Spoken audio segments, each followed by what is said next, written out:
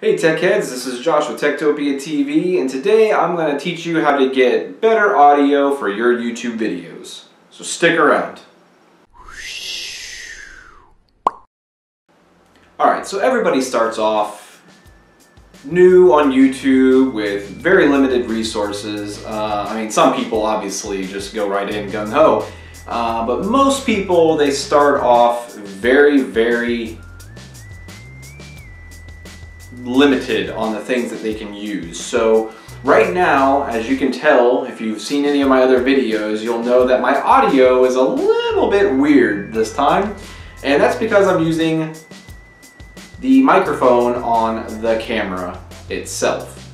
So obviously you can tell that it's very echoey, a lot of reverb in it, it's not as full sounding and all of that, right? Well, the reason why I'm doing this is because if you scoot forward and get a little bit closer and more intimate with your camera, the audio will be a little bit better. So if you wanted to do a video where you were just showing some tabletop things, maybe a cell phone review or a case review or something like that, you could get away with using the microphone on the camera for quite a while really, if not the entire time.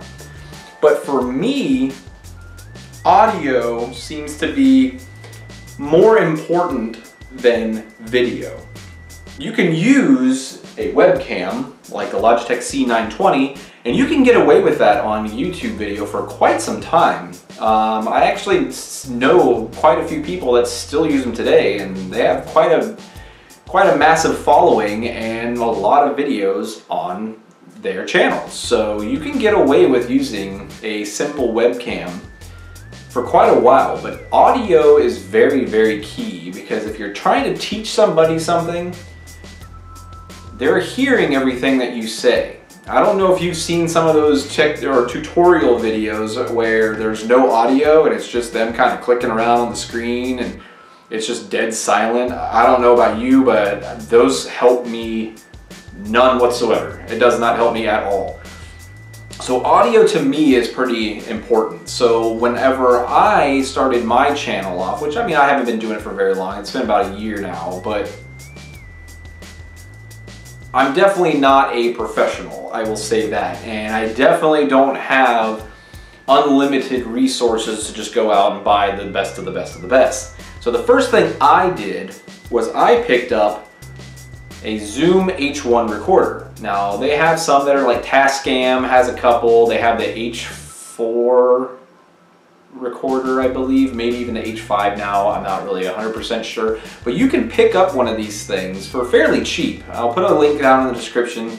Um, and you can pick up one of these for fairly cheap and they're really nice to have. I mean, they really are. They come in handy.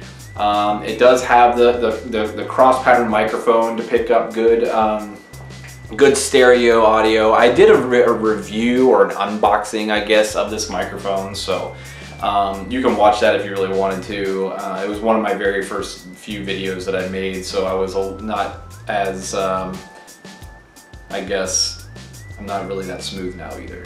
So, shit, whatever.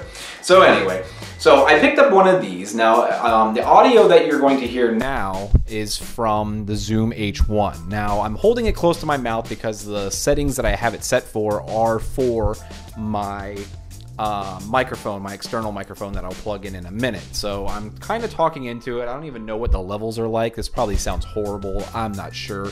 But I just wanted you to be able to hear the difference between just having the onboard camera microphone and having a external recorder recording your voice. So right now you are hearing the Zoom H1 on its own. I'm hand, uh, holding it by hand.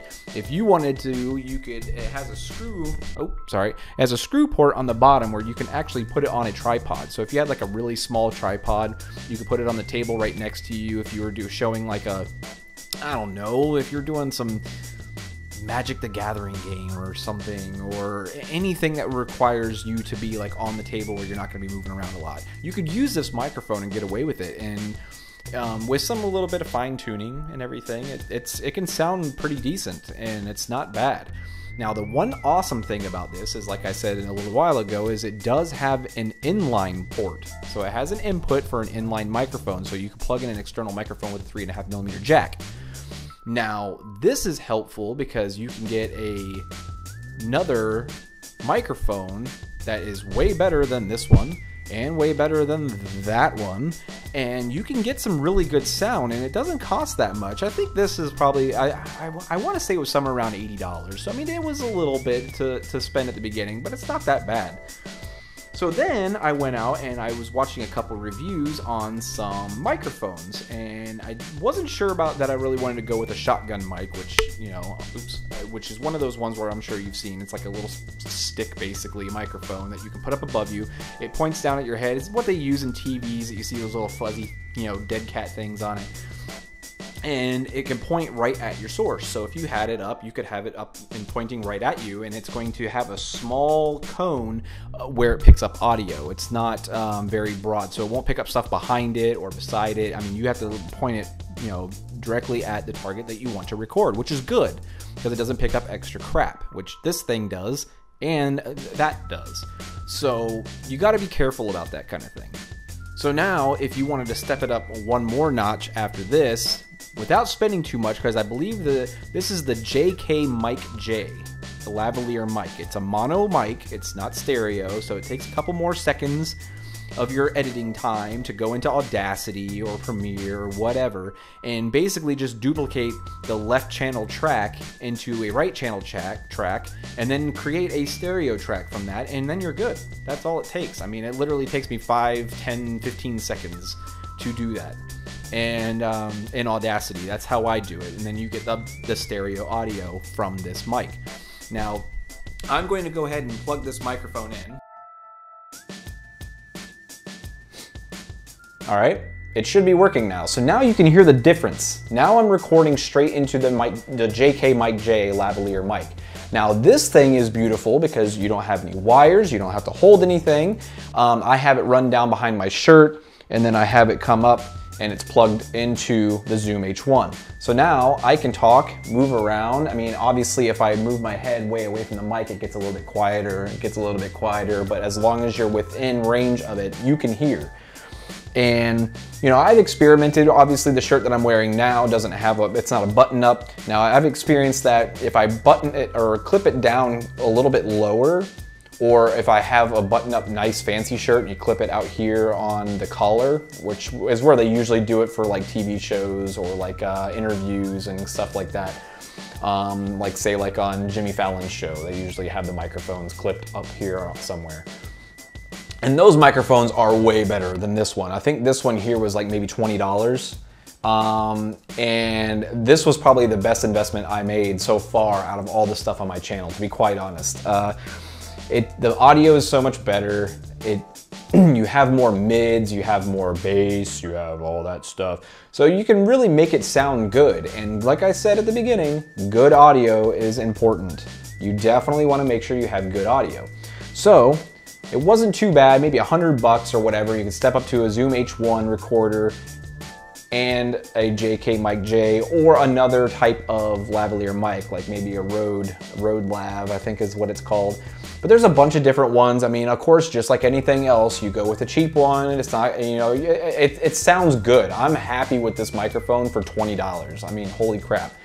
But just like anything else, you can go all the way up to five, six, seven, eight hundred dollar mics. You know, I'd love to get a wireless Sennheiser mic, you know, a lav mic or whatever, because that would be really easy. Because I could just send it back to my camera and be done with it. Um, and record it all in one go rather than having to mess with multiple different sources and, and audios or um, different devices and all that kind of stuff. But I just, I don't have the funds right now. So maybe eventually, but for the beginner who's really just starting to try to start out on YouTube, you got a little bit more into it and you want to step up your game just to that next level um, without breaking the bank, this is a good way of doing it. So this has been Josh with Tektopia TV and I hope this video helped you out and I hope that I can see some people that are grateful for this and we'll be making some better videos with much better audio. I'll catch you in the next video. Take it easy.